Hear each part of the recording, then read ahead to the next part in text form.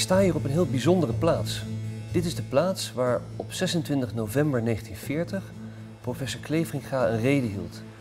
En die reden is zo belangrijk geweest voor de universiteit, voor ons allemaal, voor waar we voor staan, de waarde van deze universiteit, het bolwerk van de vrijheid, dat ik jullie daar graag meer over wil vertellen. Wie was Kleveringa?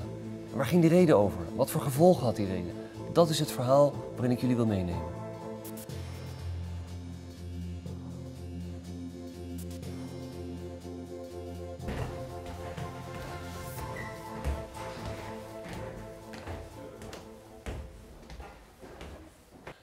We zijn hier in de Senaatskamer van de Leidse Universiteit, in het academiegebouw in het Rapenburg.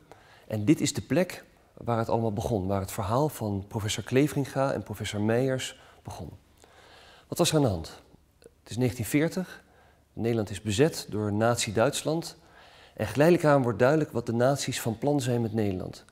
In oktober 1940 moeten alle ambtenaren, alle hoogleraren, alle medewerkers van de universiteit de Ariër-verklaring tekenen.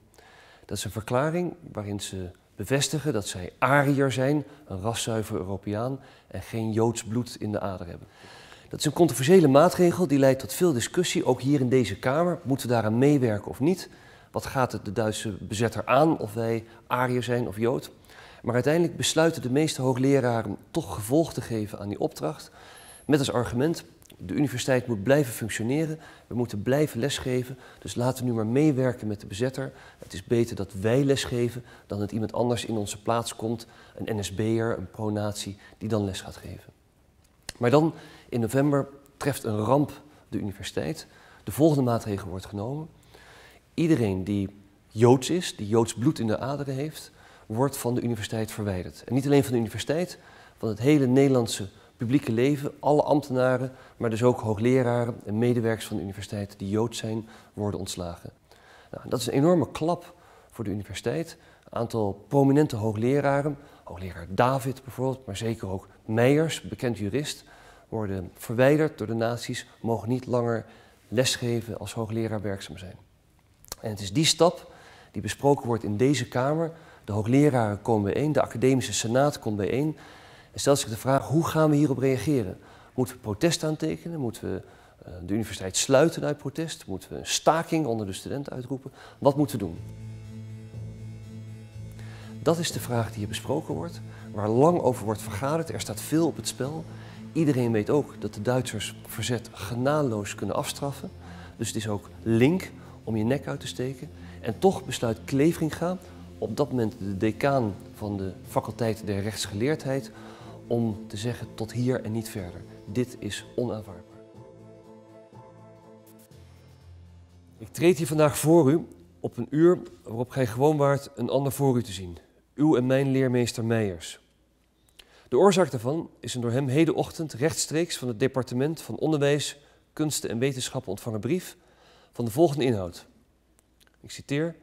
Ingevolge opdracht van de Rijkscommissaris voor het bezette Nederlandse gebied ter zaak van niet-Arisch overheidspersoneel en met de personeel gelijkgestelde, breng ik te uw kennis dat u met ingang van heden van de waarneming van uw functie van hoogleraar aan de Rijksuniversiteit te Leiden is ontheven.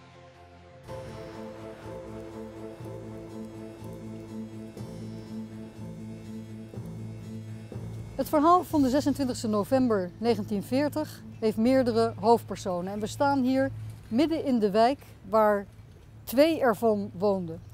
Professor Kleveringa woonde in de straat hierachter. En in het hoekhuis hier achter mij woonde professor Eduard Meijers, om wiens ontslag het protest van Kleveringa draaide. Wie was professor Meijers eigenlijk? Meijers was in 1880 geboren en hij was al in 1910, dus hij was nog maar 30 jaar oud, benoemd tot hoogleraar aan de Leidse rechtenfaculteit.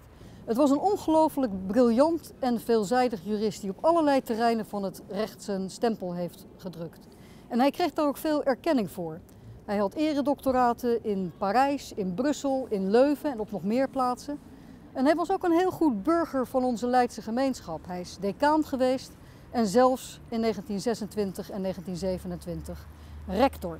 Hij was dus kortom door en door Leids. Zelfs al had hij in Amsterdam gestudeerd. Maar dat overkomt de beste.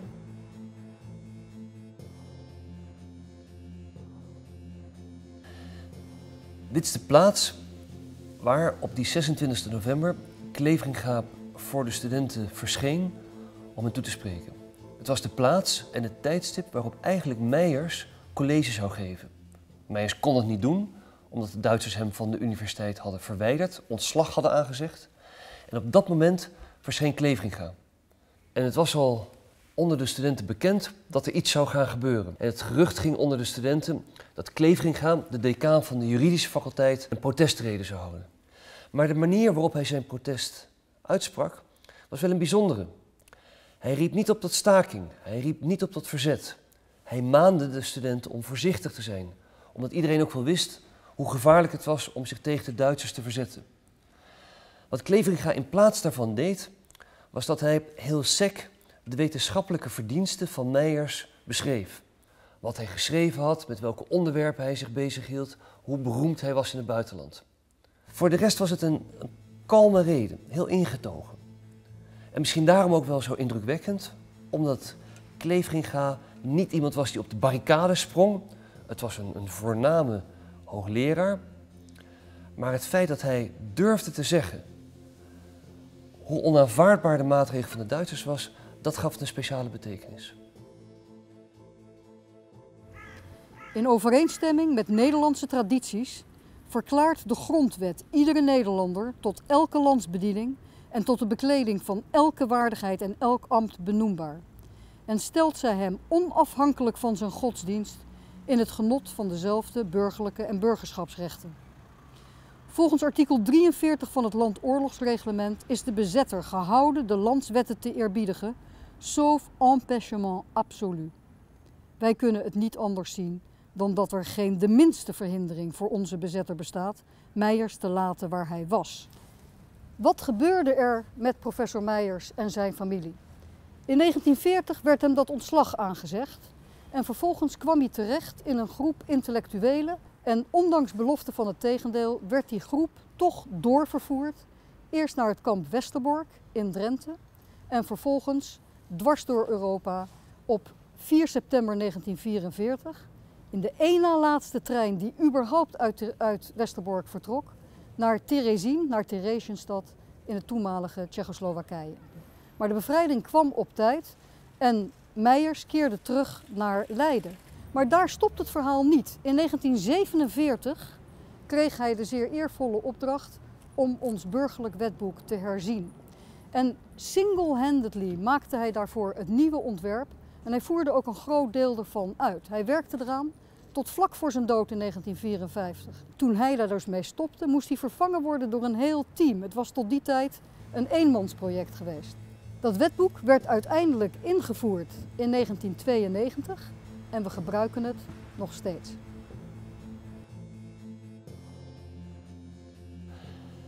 Dus van alle faculteiten waren studenten hier aanwezig. En toen Kleveringa zijn woorden sprak, was het muisstil. Je kon een speld horen vallen.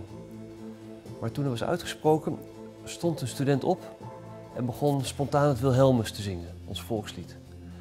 Alle aanwezigen vielen hem daarin bij. En daarmee werd ook duidelijk dat iedereen heel goed wist wat er gebeurde. Dat hier de universitaire gemeenschap, de hoogleraren, de studenten er precies hetzelfde over dachten. Dat ze het volstrekt object vonden wat de Duitsers deden. En dat ze protest aantekenen tegen die maatregelen. En dat gaf die reden een bijzondere betekenis. Een betekenis die veel groter is dan alleen maar deze zaal of alleen maar Kleveringa of Meijers. Maar wat ze deden, de boodschap die ze overbrachten en die ook vandaag nog zo belangrijk is, is deze universiteit kan alleen maar functioneren in vrijheid. Dat is ook waarom al eeuwenlang het zegel van onze universiteit zegt Presidium Libertatis, bolwerk van de vrijheid. Je hebt de vrijheid van gedachten, de vrijheid van meningsuiting, de vrijheid van godsdienst nodig om wetenschappelijk onderzoek te kunnen doen, om onderwijs te kunnen geven aan iedereen. En dat was wat Kleveringa vertolkte en dat werd opgevangen door de studenten en werd versterkt door de studenten. En daarom is 26 november 1940 zo'n ontzettend belangrijke dag voor onze universiteit en voor Nederland. Het was de eerste keer dat een officiële instelling protest aantekende tegen de maatregelen van de naties. Tot hier en niet verder. Dit is waar wij voor staan. Als universiteit, als volk, als natie.